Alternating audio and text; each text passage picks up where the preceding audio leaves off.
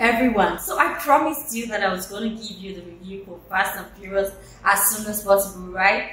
Well, the movie came out on 25th of June, that was last week Friday, and I was able to quickly see it over the weekend so that I can give you this review quickly so that you can check it out. I hope you're tuning in. I remain your noble host, Linda on the Reel. Every week I try to talk about the latest movies that you can watch. This is the most talked after movie buzzing on the waves right now. Fast and Furious 9. Make sure you stay with me this week on The Reel while I tell you some things I liked and some things that I didn't like. Well, it was okay. But I know a lot of people are still going to see it, so see it for yourself and then we can talk about it. Stay with me this week while we discuss this movie called Fast and Furious 9. I used to live my life a quarter mile at a time. But things changed. I'm a father now. I will always be in your heart. Little Brian, I have a gift for you. Your daddy gave me this. No, I'm gonna give it to you. It's very special. It's for protection from what's coming. Welcome back, everyone. So good to always have you tuning in every weekend on The Reel, making it a date with me. I'm always delighted to give you some tips from my movie reviews. This week, I said earlier, I was going to be talking about a nice movie called Fast and Furious 9. Well, for those of you who have been following through, it's been a long journey, right? From the eight, from the 90s, I guess, or 2000, where we started the Fast and Furious journey from 1, 2, 3, 4, 5. And then you also have a few, had a few years ago the Hobbs and, um, Hobbs and Shaw, that was kind of like off the series. Yeah, yeah, yeah. So we're back with nine. And nine was just a similar way. So you know how they go try to find or solve a solution to a problem and then they come back again. So nine, you had Vin Diesel who was the Dom guy, normal living his life with Loretta and his son. And all of a sudden two of his friends come again to tell him there's a problem and we have to solve it.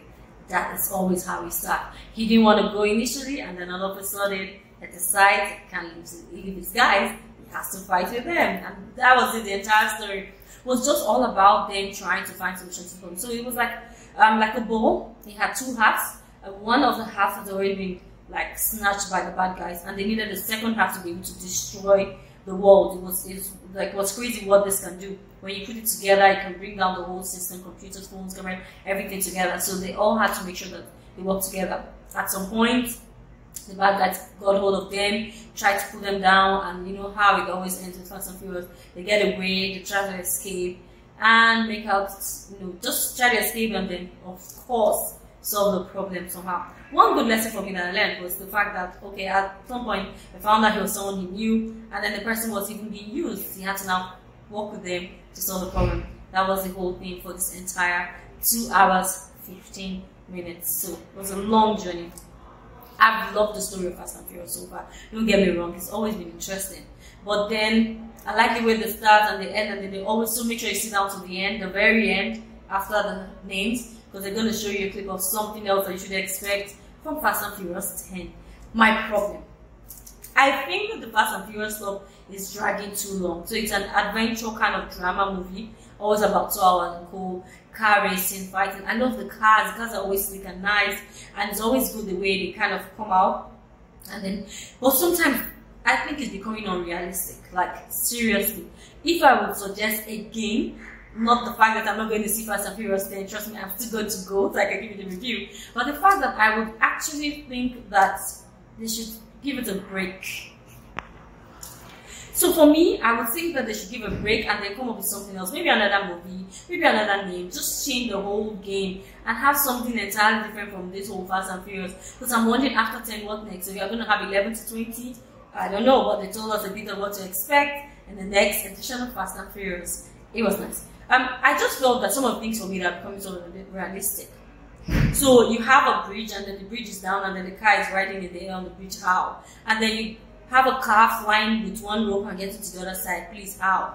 The last one for me that just broke the coming back. I was like, okay, no, I'm not doing this again.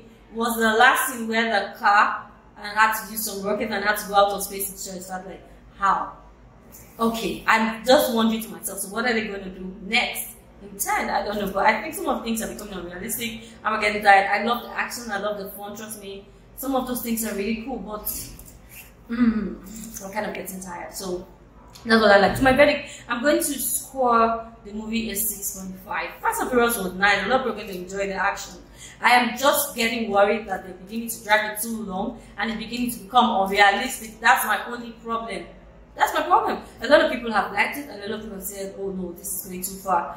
But trust me, it's an action movie, so you're going to definitely enjoy your time. It's going to be a time well spent. And the movie was directed by um, by Justin Lin. Justin Lin directed the movie, and of course, he also featured in the movie. And then you had Vin Diesel, you had Ludacris, you had Ty Gibson, you had Jordan, Jordana Bristol, and then you had Michelle Rodriguez and Nathalie Emmanuel. A lot of people were in the movie. A lot, all the crew again, you know, came back again in this movie. You know, all joined forces together to fight, and then they go their ways and come back again. Fast and Furious 10 as always. I would definitely always read that you do leave us a comment, tell us what you do think and like about Fast and Furious 9. If you agree with me or not, it's fine. I totally understand. This is just my verdict and I'm not putting it on anyone. You have a right to choose if you like it or not. I would be more than happy to hear what you think. photos across at my review NG across social media platforms, and we always want to hear from you. As always, make sure you do take care of yourself, have fun, and enjoy your time till I come your way again. I mean, your normal hosting that on the reel. Thanks for watching. No matter how fast you are, I am not too big compared to you. no one outruns their past. I am more easy, you trying your This is my world.